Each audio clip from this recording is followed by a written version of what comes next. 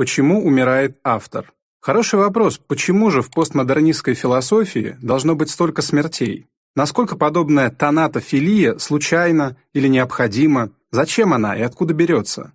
В ней заканчивается, то есть в сильном смысле опять-таки умирает, история, в ней умирает идеология, приходят к концу всевозможные мета-рассказы. Мало того, умереть с точки зрения постмодернистов должен и человек. Не какой-то конкретный, конечно, но человек с большой буквы.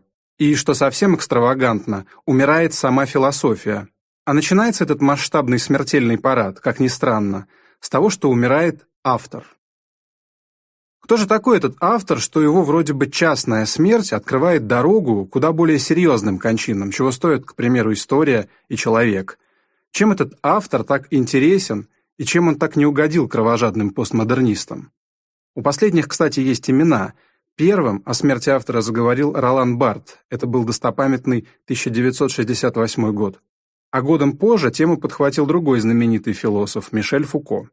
Я говорю о работах «Смерть автора» и «Что такое автор» соответственно. Вслед за указанными философами и мы начинаем с литературы. Автор – это, как принято полагать, тот субъект, что создает литературное произведение выводит в существование то, чего ранее не было, не было как минимум в порядке дискурса.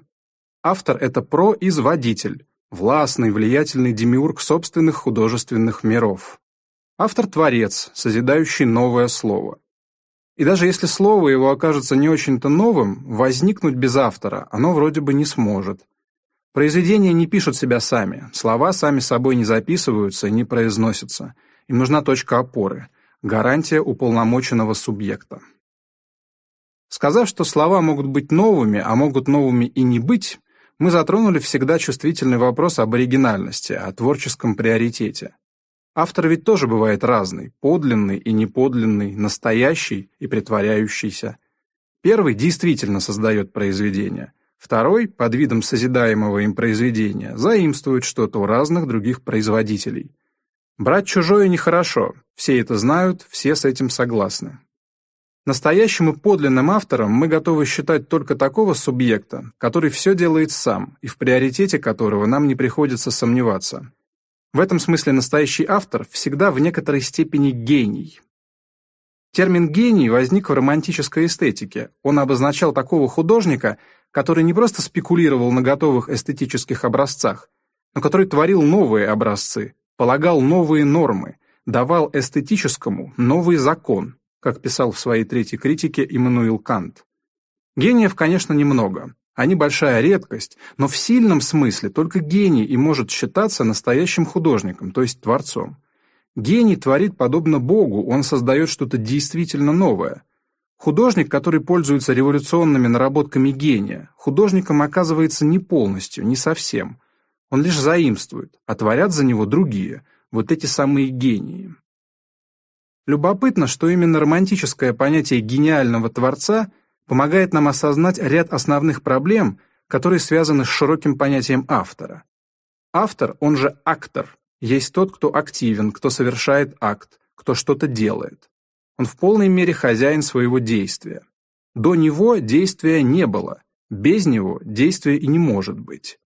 Порождая новые действия, автор становится романтическим гением, способным навязать миру закон своей оригинальной активности. Понятия гения и автора вступают друг с другом в сложные отношения, то расходясь в ценностном отношении, в самом деле не всякое же действующее лицо мы будем почитать за гения, то сливаясь почти что до неразличимости. Ведь правда, всякий действующий в строгом смысле творит в мире оригинальные и никогда не бывавшие состояния. Это ли не гениальность? Вот с этим изрядно романтизированным понятием действующего лица нам и приходится иметь дело, да так что в деле этом от ничтожества до величия всего-то один маленький шажок. Когда мы осознаем риск почитать всякое действующее лицо за гениальную субъективность и таким образом отдать мир на откуп необъяснимым, непознаваемым и напоминающим чудо авторским жестом, приходит время критических развлечений. Населять мир толпой гениев означает отказываться от рационального его объяснения.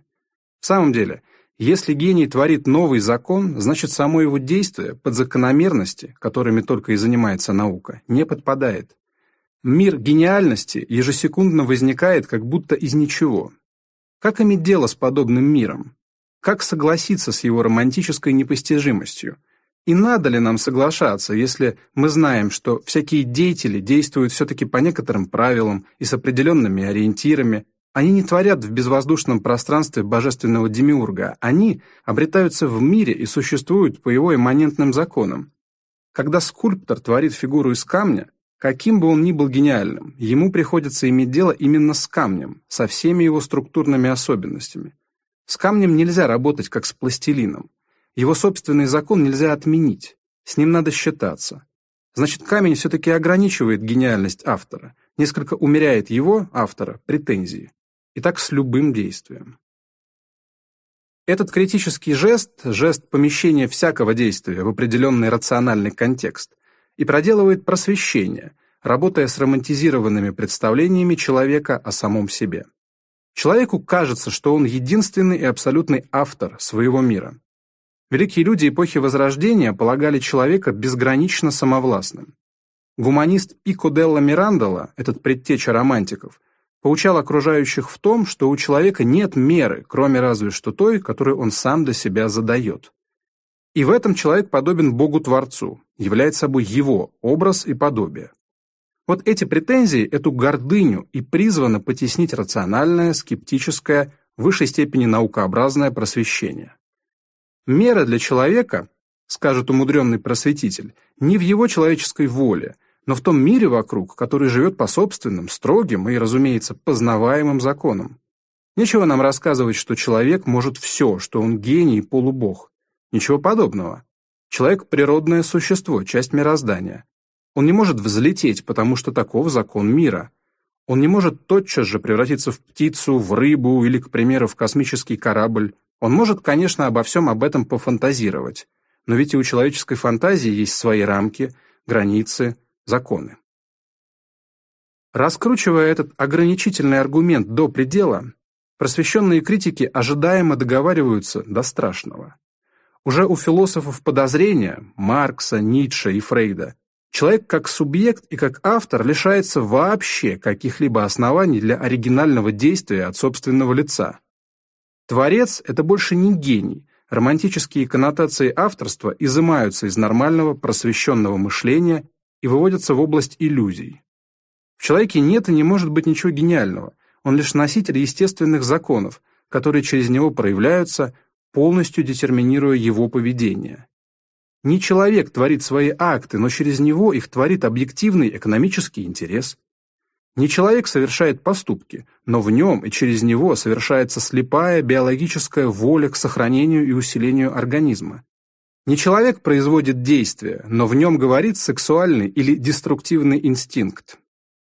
Сформулированные философами подозрения критические высказывания, при всей их крайности, суть только продолжение объективистской научной логики просвещения. Все должно быть познаваемо и объяснимо, человек здесь не исключение. Что не поверяется наукой, то иллюзорно.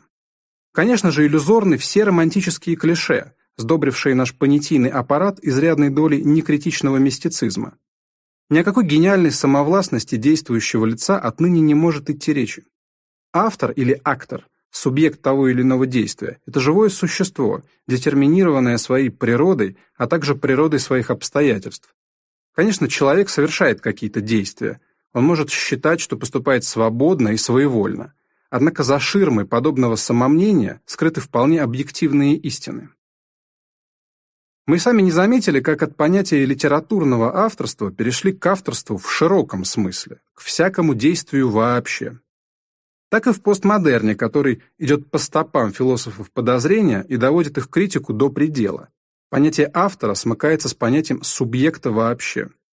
Судьба обоих понятий незавидна. Умирает автор, умирает субъект. Постмодернисты слишком хорошо усвоили Маркса, Ницше и Фрейда, чтобы церемониться с застарелыми представлениями, все еще содержащими кое-какой романтический налет. Там, где для иллюзий свободной субъективности осталось еще какое-то место, нужно провести окончательную критическую санацию. Барт и Фуко уверены, автор – это не более чем функция объективных дискурсивных процессов. Приобрести полную версию данной книги вы сможете, перейдя по ссылке в описании под видео. Подписывайтесь на канал Расширение мировоззрения, нажимайте на колокольчик и ставьте лайки.